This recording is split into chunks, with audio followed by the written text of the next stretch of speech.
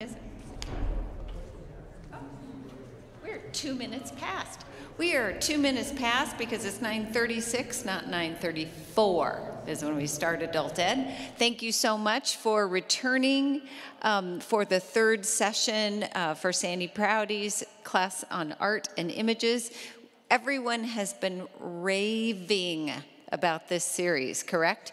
Watching online and, and um, here in person. So again, Sandy Proudy, you are the best. We are so grateful for you in so many ways. Um, thank you for being here for the third in your session on this theme of wilderness. Um, just want to give a plug for, I don't have my heels on today. Look at me. I have my flats on. Um, that's funny. My husband, Timothy Beal, who is a, a, religion professor, biblical studies, will be leading a two week series starting next week on um, G, called the Cinematic Gospels. So, Jesus in cinema, um, the end of his journey uh, toward the cross. So, I hope you come for the next two weeks. Um, he'll be doing that, and it'll be great. All right, Sandy, thank you. Thank you. you thank you. Well, it's so wonderful to be with you uh, here in the sanctuary and those who are joining us online. This is the third presentation on wilderness art. Today we'll be looking more completely at our own personal Lenten experience in this year of 2022. We'll be looking at scripture I have a poem to share. And we'll be looking at pieces of art from the 20th century mainly, although there will be a few that are older and a few that are present day. I wanted to begin today by backing up to last week's session and considering this painting again. This is The Last Supper done by Lorna May Wadsworth, a British artist. And there was a question about where Judas is in this picture. Judas is seated, he's third to the left from our Jesus, who is standing. He's sitting there looking very sheepish. This painting was installed at St. Albans Cathedral. It's a cathedral that was started to be built in 1077 and finished in 1877. It's part of the cathedral movement of Europe, and construction outlived many builders and architects. But for that conservative space to hold this artwork is quite phenomenal. You know, copies of this piece have been displayed in other churches when it was in Gloucester, England, it was vandalized. Someone actually shot, shot through it in several places. Um, someone who could not abide the idea of a black Jesus. But let's begin today. We're returning to an image from the very first session. This was done by Russian artist Ivan Kramskoy. We talked at that time that this is an image for our own personal Lenten practice. Jesus in the wilderness by himself at a threshold time of day. It looks like dawn to me, that liminal space He's sitting in quiet, serious contemplation and prayer. So we'll hold this image as we work through the presentation today. This is such a similar view of a more modern day person. This is called April Wind. It was painted in 1952 by Andrew Wyeth, who is one of the most well known American artists of the 20th century. Here we see a single figure, alone, seems to be contemplating, but in true Andrew Wyeth style, we don't see his face. So often he painted people walking away from us or turning away from us, either in part or in full. This piece is in the Wadsworth Atheneum Museum of Art in Hartford, Connecticut. Andrew Wyeth lived from 1917 to 2009. He painted realism and regionalism. He showed us the land, the buildings, the people where he lived in Chadds Ford, Pennsylvania, and on the Maine coast. April wind. His most well known painting is Christina's World. This was a portrait of a neighbor in Maine. The story is that Anna Christina Olson suffered from a degenerative muscular disease, maybe polio, but she refused to use a wheelchair. So she made her way from place to place like this. Andrew Wyeth painted this in 1948. It's at the Museum of Modern Art in New York City. There's a sense of grieving and melancholy in this work. And that echoes through many of the paintings of Andrew Wyeth that came after 1945.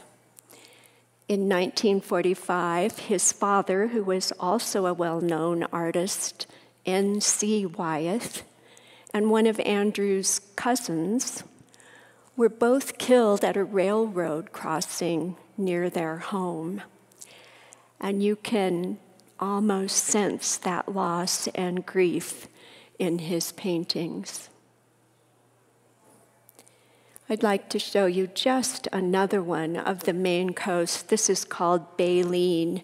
He painted it in 1982.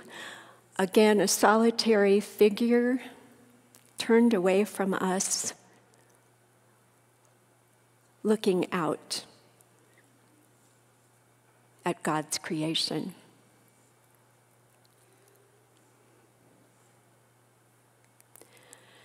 Another artist who wanted to paint loneliness, urban loneliness and disappointment, is Edward Hopper. He lived from 1885 to 1967. He is known for his treatment of light. This is Office in a Small City he painted it in 1953, again hoping to show how lonely cities can be. You know, through our Lenten frame, we could see this instead as a moment of spiritual practice during Lent, a moment where you carved out a time to pray or consider your relationship with God's way of love.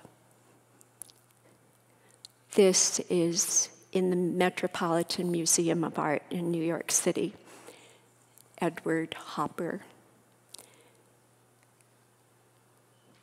He painted Automat in 1927, again trying to show us loneliness but I see an opportunity to be alone and have a time to consider our place in the world of God, our relationship to the stories of Jesus, our remembering of what Jesus actually said.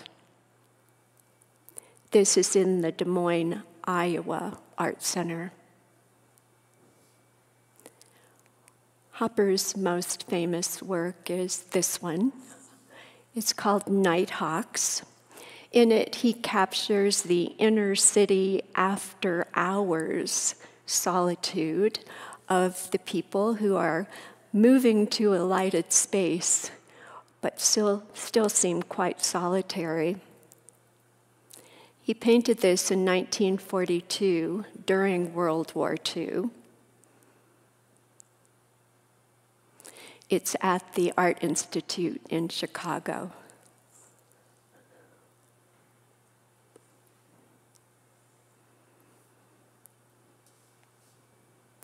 You know, as we consider Lent 2022, it may feel like this work, which is entitled Falling Up by Ken Varna. Everywhere we turn, there is a concern, and we've been through two years of upheaval and concern. He uses a very simple technique here of size to create depth. Very large Jews. Those in the back that are falling are very tiny. Ken Varna was abandoned at birth and adopted by a family that spent most of their time in the Hamptons. So he lived in a high society circle. He was exposed to famous artists like de Kooningberg and Andy Warhol. He went to the Pratt Institute in Brooklyn. He also wrote a novel called Free Falling, and it has been thought to be his story of the mental illness he has struggled with all his life. He did free falling in 1964, and he is still living.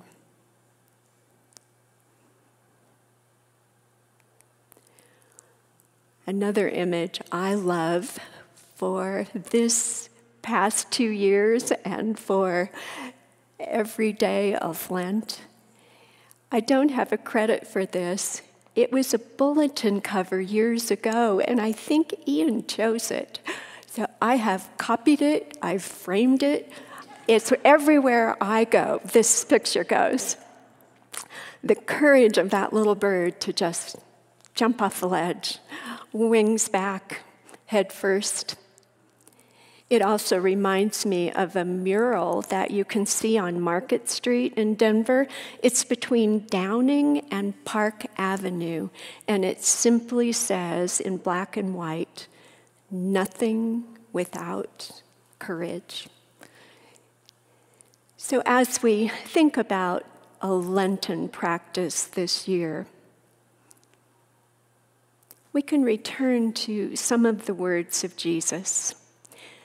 Jesus said, Blessed are the poor, the meek, those who mourn. Blessed are the merciful.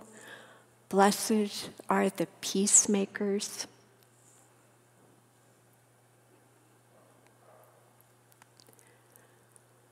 I want to show you some images of poverty. This was painted in 1878 by French artist Jules Bastien Lepage. It is a very beautiful, uplifting representation of poverty done in a very French way. Here we see a beautiful young woman, very well dressed for the task. We see a woman behind her smiling. We see a beautiful countryside. And we see so many potatoes. This was of a simpler day when there was actually a social contract that allowed the hungry and the poor to be gleaners and pick up what was left after the harvest a simple and effective way to do God's work in this world of feeding the hungry. This painting is in the National Gallery of Victoria in Melbourne, Australia.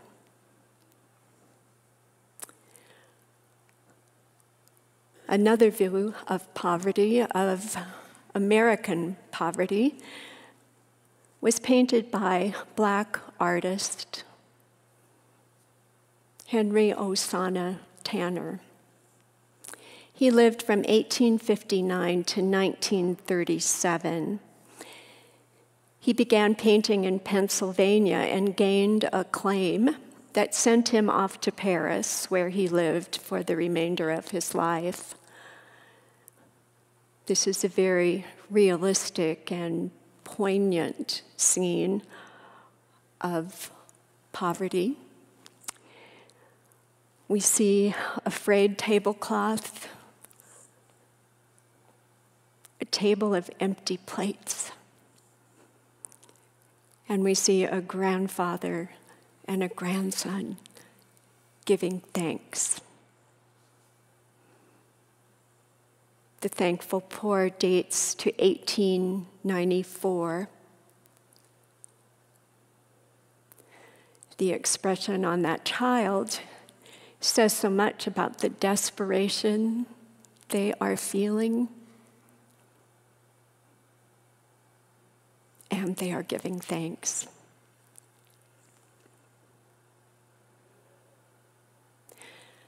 This piece is owned by Art Bridges, which is an art lending nonprofit.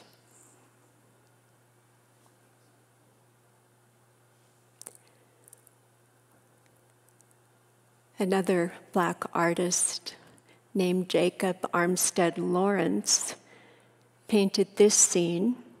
It's entitled They Were Very Poor. It's part of a series of 60 panels that Lawrence painted. The series is called The Great Migration, and it chronicles the movement of Black Americans from the South to the North during World War II as they hoped for employment. He painted this series between 1940 and 1941. He calls his technique dynamic cubism. Cubism was pioneered by Pablo Picasso and George Braque as a simplification of nearly anything, including human faces and musical instruments, into geometric shapes that they sometimes then rearranged. In this artist's painting, we see a simplification to geometric shapes, shapes of black and brown contrasted with shapes of vivid color. Again, they seem to be giving thanks, having a moment of sharing a grace. They were very poor. This entire series is jointly owned by the Museum of Modern Art and the Phillips Collection of Washington, D.C. Blessed are the poor, blessed are the meek, blessed are those who mourn. Here's another view of poverty done by an artist who I mentioned in the presentation last week. This was created by Jean Michel Basquiat. He was a Puerto Rican Haitian artist who spent his time in New York City. There's a wonderful children's book written about him. It's called Radiant Child, it was done by Javaka Steptoe. It won the Caldecott Award for any of you who know that's the award given to the best picture book of the year. Jean Michel painted in a very frenzied, tormented way from the time he was a child. The book shares that he was drawing and painting on every surface, every piece of paper he could scrounge and find, every wall of the apartment.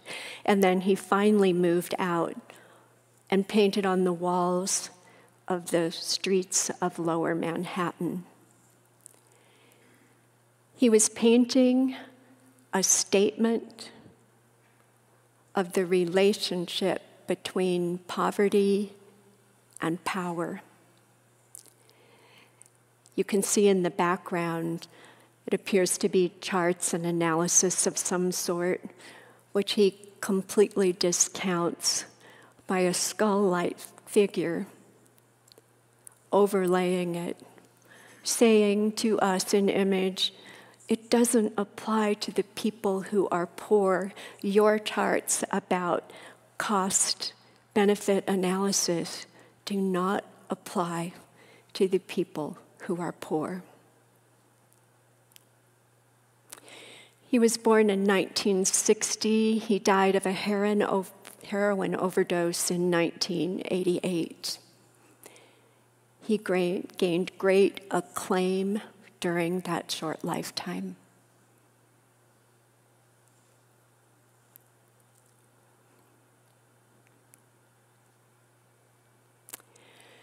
Now I'm moving to a modern day artist. His name is James Early. He was called early in his career to paint the homeless, and everyone he talked to tried to talk him out of it, saying there is no money in that, it's a waste of your talent, just don't do that. But he followed what he considered a call. He has painted the homeless in Spain, France, England, Holland, and America. This is Matthew. James Early gets to know people who are experiencing homelessness. He very respectfully asks if he can take their picture, and he paints a portrait from that. I love this young man's face.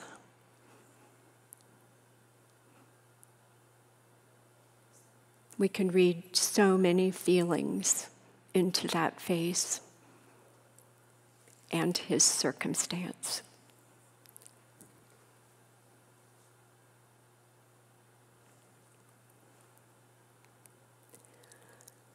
This is another work by James Early. It's called Stop and Cross.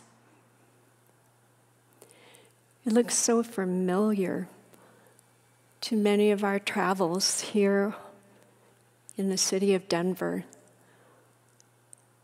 We see people maybe with a pet, with their possessions in a bicycle or a shopping cart. They are on the move, sometimes by choice and other times by edict.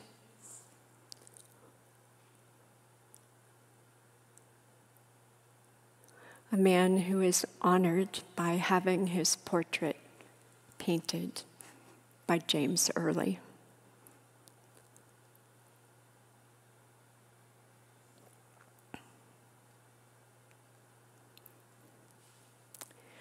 This sculpture is called Homeless Jesus. It was done by a Canadian artist named Timothy Schmalz. He's a devout Catholic he did this in 1969, and it has been installed in many places, including St. Peter's Basilica.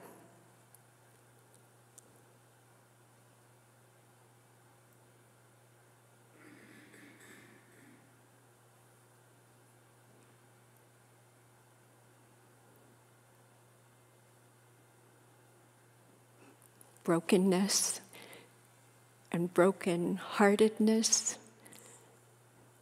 cast in bronze.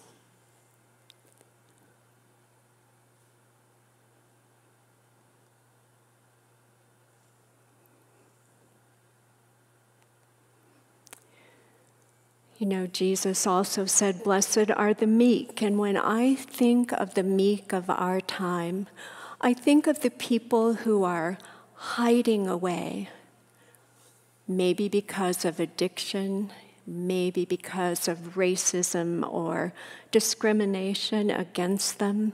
I think of our LGBTQIA plus brothers and sisters and families with pronouns of all sorts who are in danger. Starting with addiction as the representation of the meek who are blessed. This was done by Keith Negley, showing the truth about the disease of addiction that is so hard for us to comprehend. It is a snake that takes over your life and puts you on your back and may cause you to meekly hide away.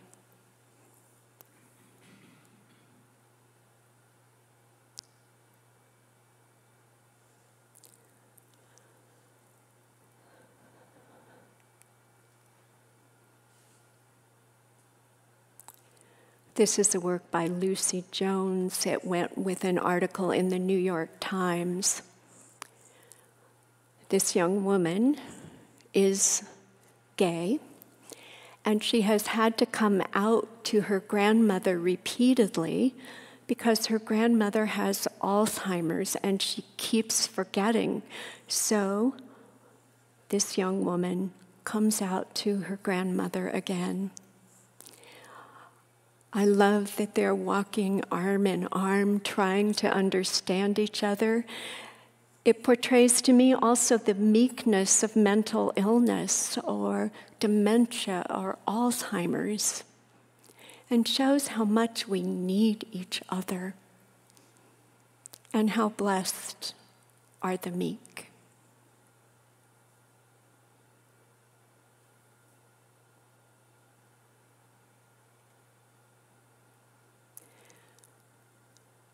Jesus also said, Blessed are the merciful, blessed are the peacemakers. Henri Nouwen said, We're all broken. All who Jesus said we're blessed are broken. And our brokenness has no other beauty but the beauty that comes from the compassion that surrounds us and it. Henri Nouwen, a beloved theologian and author.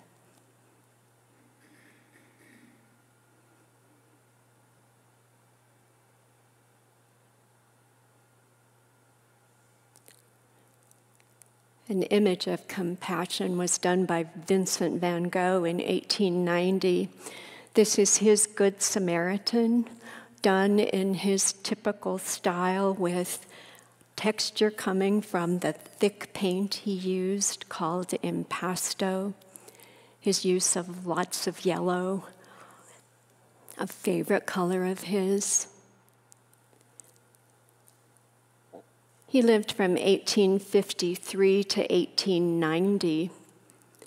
He painted this just a few months before his death. He painted it while he was in the asylum. On the faces of the helper and the one so desperately needing help, I sense the truth about compassion and acting on it.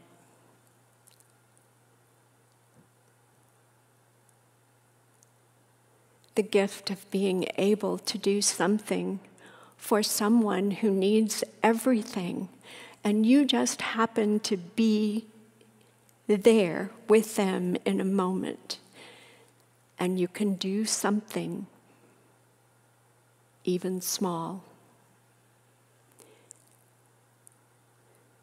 So often I've heard people ask have asked a desperate person who's homeless or mentally ill or addicted, living on the city streets, what do they want?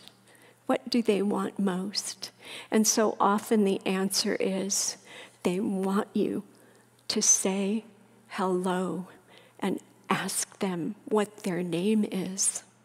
If we can't do what the Good Samaritan did, we can at least see them and let them know that they are seen by us.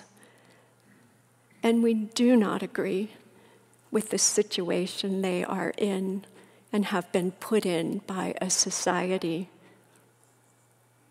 who turns away from them.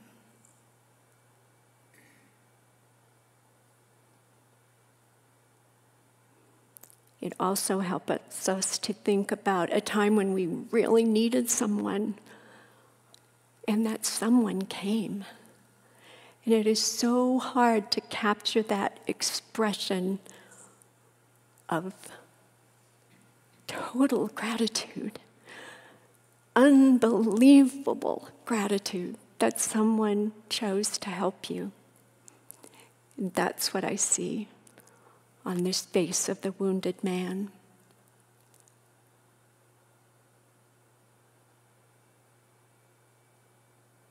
As we think about our Lenten practice, thinking about all who are broken and our possibilities to be merciful, to be compassionate,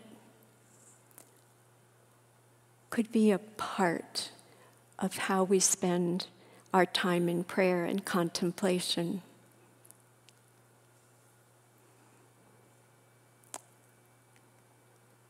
And blessed are the peacemakers. This piece was done by Dame Laura Knight, a British artist. She earned the title of Dame, being one of the first women to be given a full membership into the Royal Society of England. She was a war artist during World War II, painting very real, realistic and detailed works around the activities of the troops she was embedded with. After the war, she volunteered to go to Nuremberg and paint around the trials. She unveiled this work in 1946 to strong opinions, both positive and negative. Many were upset that she hadn't stuck to her usual realism. She said she couldn't sit in that courtroom and deny that the city around it had been completely destroyed by the war. So she eliminated the back wall of the courtroom and showed us the city beyond the wall.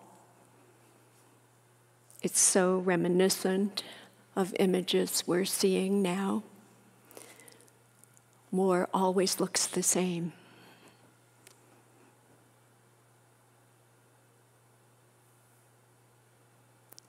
the Nuremberg trials, 1946, Dame Laura Knight.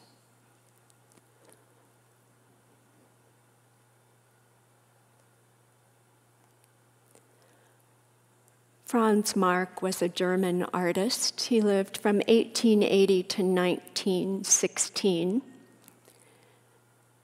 He was an expressionist and he challenged why things have to be the colors that they are.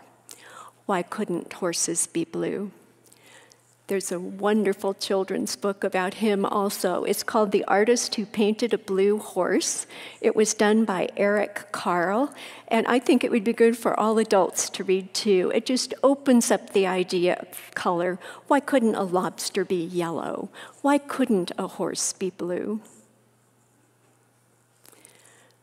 Franz Marc did several paintings of blue horses, before he died. He was killed in World War I.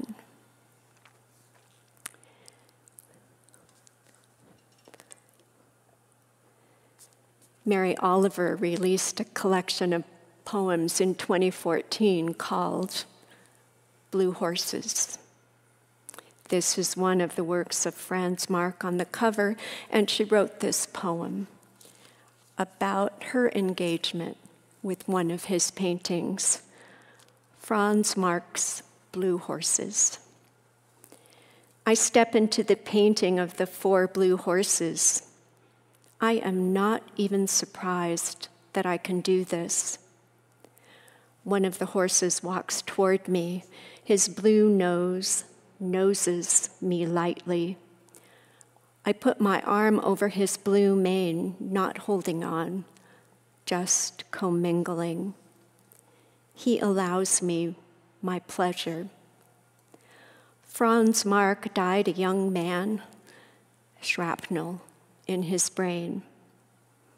I would rather die than try to explain to the blue horses what war is. They would either faint in horror or simply find it impossible to believe. I do not know how to thank you, Franz Marc. Maybe our world will grow kinder eventually. Maybe the desire to make something beautiful is the peace of God that is inside each of us. Now all four horses have come closer, are bending their faces toward me as if they have secrets to tell. I don't expect them to speak, and they don't. If being so beautiful isn't enough, what could they possibly say?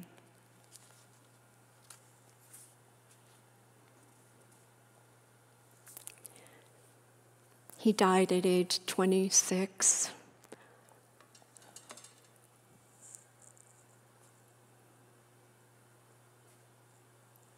Such an impossible to believe loss.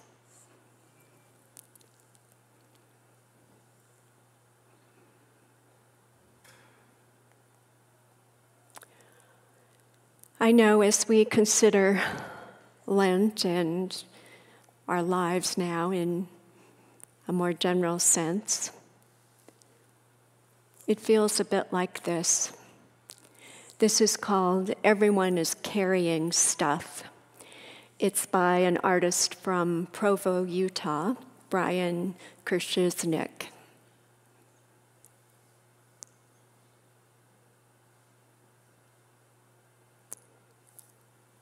In the light of these times where in every direction, there seems to be something that is uncertain,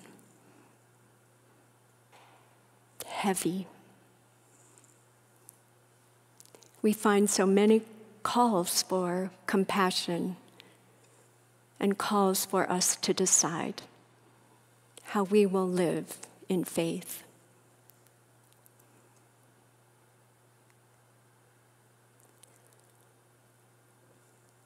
This painting dates back to 1942. It was painted by John Rogers Cox. He lived from 1915 to 1970. It's called Gray and Gold. He was also a regionalist. He painted what he saw in Indiana and Kentucky.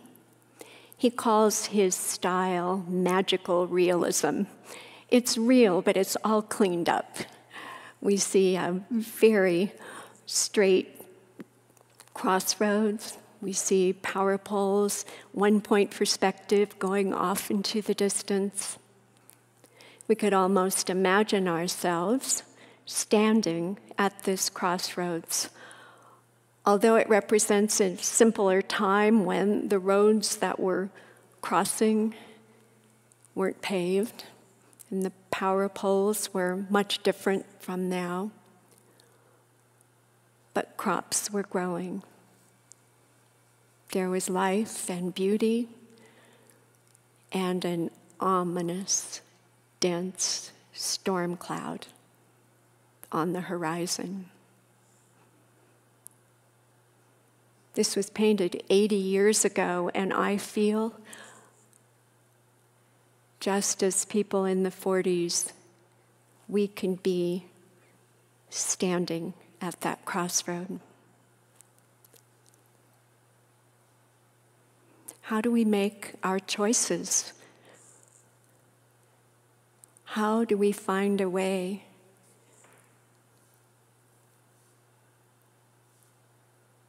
to live in God's way, to remember we are children of God, called to remember who Jesus said was blessed the poor, the sick, the meek, those who are mourning.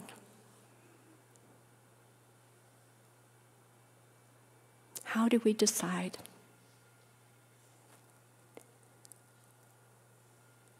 I think it can be very clear in the words of Jesus in the Gospel of Matthew.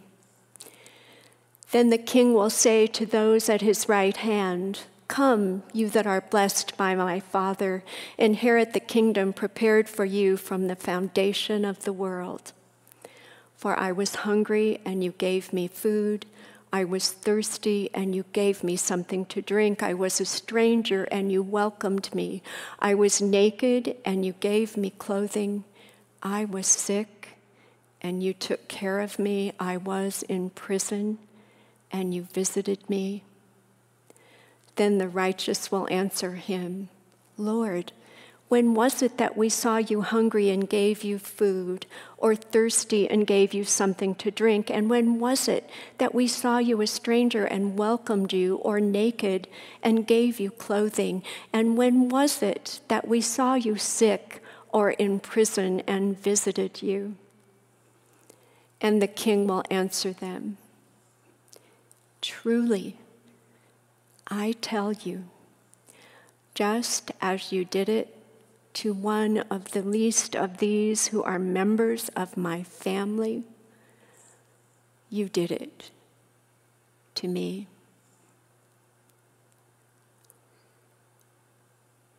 familiar words from the Gospel of Matthew.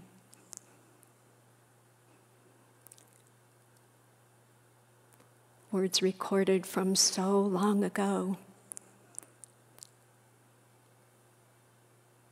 that speak to us directly in this moment.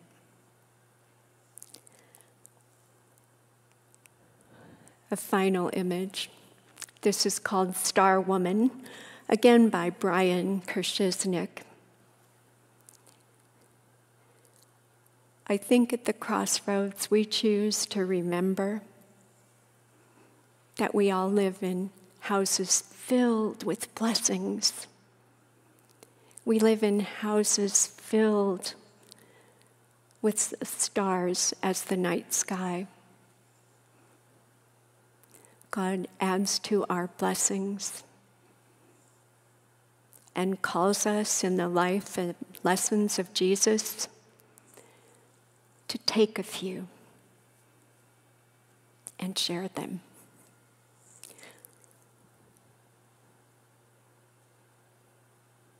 So while we spend time in our spiritual practice of Lent, may we remember this is what we have and this is who we are and Jesus told us what to do with these blessings.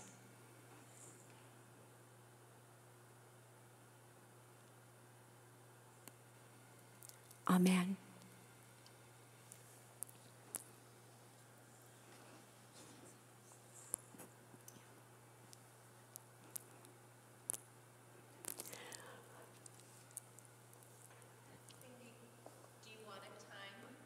Is, is there time? We got a little bit of a late start. Okay. If, does anyone have a comment or a question or something that came to your heart or to your um, thinking as we looked at images today.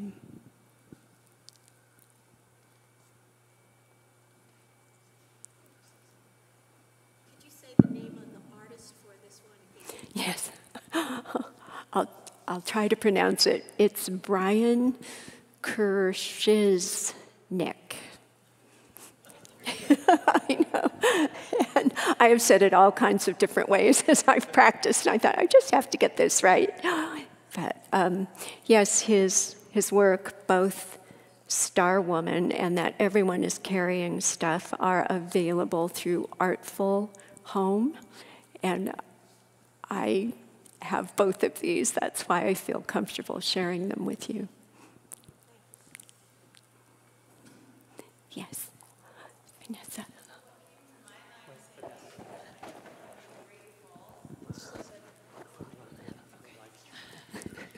Sandy, I'm feeling really grateful for the time and the study and the thoughtful reflection that went into the preparation of this. And I just feel really enriched by the gift of getting to see this art, but also um, sort of held in the container of your theological thoughtfulness. So thank you. Oh, thank you. Thank you.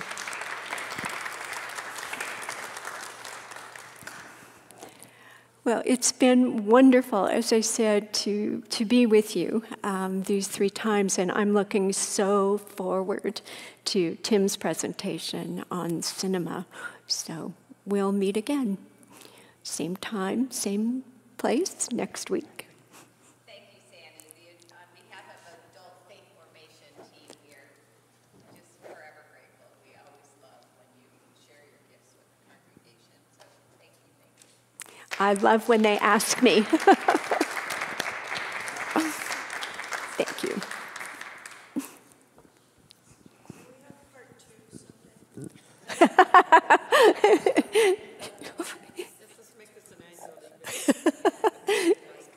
Yes, I wonder what Lent will look like.